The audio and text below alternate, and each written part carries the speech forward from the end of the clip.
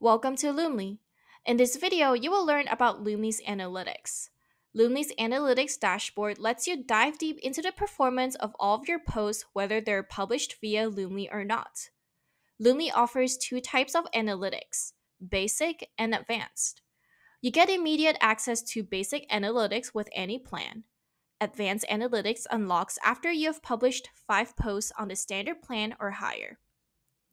Advanced Analytics provides extra metrics such as account growth, engagement, reach, likes, and more.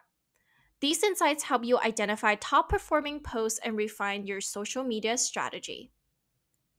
Explore our post metrics table for detailed analytics like reach, impression, engagement rate, and more.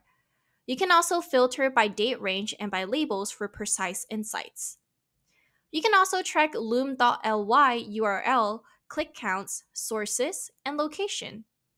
Plus, you can export your data in a CSV or PDF file and schedule automated analytics reports to be delivered straight to your inbox.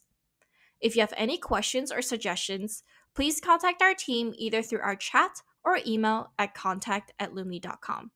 Thank you for listening.